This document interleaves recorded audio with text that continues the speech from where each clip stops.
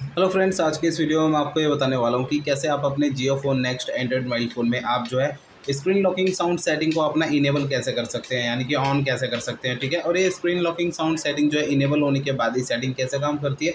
आज के इस वीडियो में मैं आपको डिटेल में जानकारी देने वाला हूँ। तो चलिए यहाँ पे वीडियो को हम स्टार्ट करते हैं। सबसे पहले तो आपको अपने मोबाइल फ़ोन में सेटिंग पेज ओपन करना है। ठीक है? सेटिंग पेज को ओपन करिए। सेटिंग पेज में आपको ना नीचे आना है और यहाँ पर आपको ये ऑप्शन मिल जाएगा साउंड का। साउंड के इस ऑप्शन पर सिलेक्ट करना है। अब साउंड के अगले पेज में आपको नीचे आना है। यहाँ पर आपको ये ऑप्शन मिल जाएगा screen locking sound. Screen locking sound इस ऑप्शन के ठीक सामने आपको ये बटन दे रखा है। इस बटन को आपको टैप करना है तो ये बटन आपका जो है ना टैप करने पे ब्लू कलर में ऑन हो जाएगा, यानी कि ये सेटिंग आपकी इस तरीके से इनेबल हो जाएगी, ठीक है? अब ये सेटिंग जो है इनेबल होने के बाद ये सेटिंग कैसे काम करेगी, ये मैं आपको समझा देता हूँ। देखिए दोस्तों, जब कभी भी आप अपने मोबाइल फ़ोन की स्क्रीन को लॉक करेंगे, यानी कि फ़ोन का पावर बटन दबा के आप फ़ोन की स्क्रीन को ऑफ़ करेंगे ना तो आपके मोबाइल फ़ोन से उसी वक्त एक साउंड की आवाज़ आएगी। यहाँ पर ये आप ध्यान से सुनिए।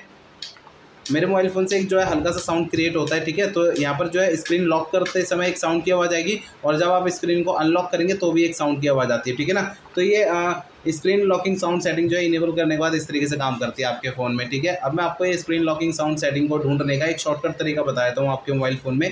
इसके लिए आपको करना क्या है? मोबाइल फ़ोन का आपको सेटिंग पेज फिर से ओपन करना है स्टार्टिंग से, ठीक है? सेटिंग पेज को आप फिर से ओपन करिए। सेटिंग पेज में आपको ना सबसे ऊपर ये ऑप्शन मिलेगा सर्च सेटिंग का इसे आपको सेलेक्ट करना है और यहाँ पर आपको सबसे ऊपर सर्च बार में सेटिंग का नेम आपको टाइप करना है स्क्रीन लॉकिंग साउंड ठीक है? आपको जो है ना नीचे की साइड ये ऑप्शन हो जाएगा स्क्रीन लॉकिंग साउंड का इस तरीके से। यहाँ पर आपको ना एक बात का और ध्यान रखना है कि जब भी आप ये सबसे ऊपर सर्च बार में सेटिंग का नेम आप टाइप करते हैं तो यहाँ पर आपको स्पेलिंग मिस्टेक नहीं करनी है। अगर आप यहाँ पे स्पेलिंग मिस्टेक करेंगे तो आपको नीचे की साइड इस तरीके से ये ऑप्शन दिखाई नहीं देगा। इस बात का भी आपको ध्यान रखना है, ठीक है? तो चलिए वीडियो को आगे कंटिन्यू करते हैं। जब ये ऑप्शन नीचे शो हो जाएगा, इसे आपको सेलेक्ट करना है। इससे क्या होगा, आपका मोबाइल फ़ोन आपको डायरेक्टली इस सेटिंग में लेकर आ जाएगा और इस सेटिंग को हाईलाइट करेगा। तो ये मैंने आपको एक शॉर्टकट तरीका भी बता दिया है सेटिंग को ढूँढने का आपके मोबाइल फ़ोन में।